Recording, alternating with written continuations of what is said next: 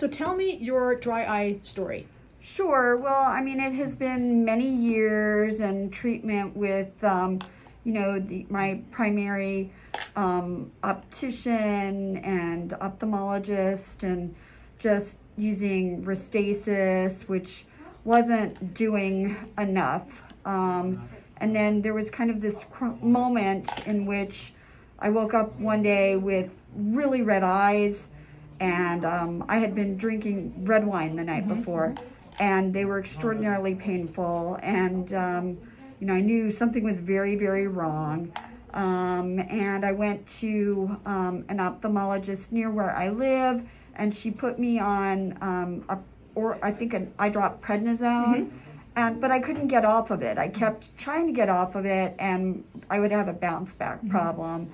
Um, I started uh, looking on social media for solutions, and Dr. Cremers came up um, in um, quite a lot of the dry eye groups that I became involved in on social media. And because I am fortunate to live in the DC, DC metro area, I made an appointment here and she did quite a lot of testing and um, did diagnose the ocular rosacea, um, but also the, uh, and I don't know that I'm ever going to pronounce this right, the meibomian gland. Meibomian glands, that's right. Mo gland, dysfunction, gland dysfunction, and mine were very, very clogged.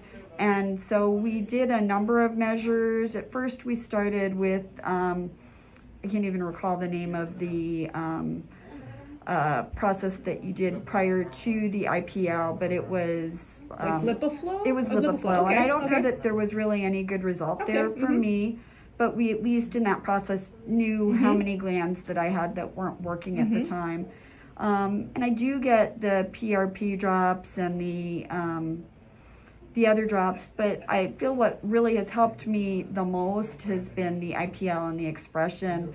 Um, I've been, I've now had 11 treatments and I know that's a lot, um, but I can say that I am, I think it's been about a year and a half mm -hmm, since I 1st mm -hmm. walked through the door here and I walked in this morning symptom free, which is that's great. kind of amazing because my eyes were always red.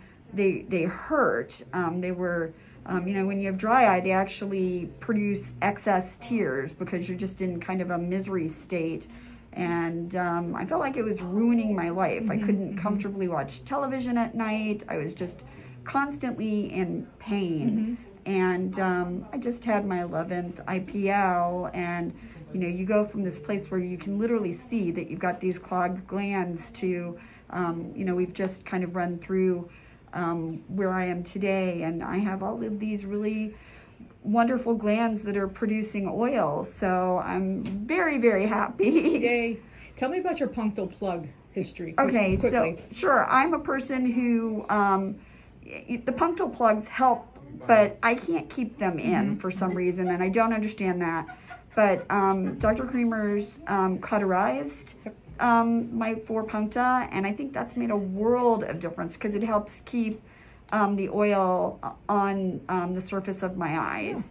Um, so that in and of itself has also been an important part of Great. the treatment. How much did the cautery hurt? Did it hurt? Was it no. very uncomfortable? Was it like no. a couple seconds per no. eyelid and looked good? No, okay, I'd say the worst thing you do to me is um, expression afterwards. I mean, the and IPL, you haven't needed probing at all, correct? Right, good. correct. That's right. Great. Correct. Thank you for this. Thank I appreciate you. all my patience. Thank you, everybody.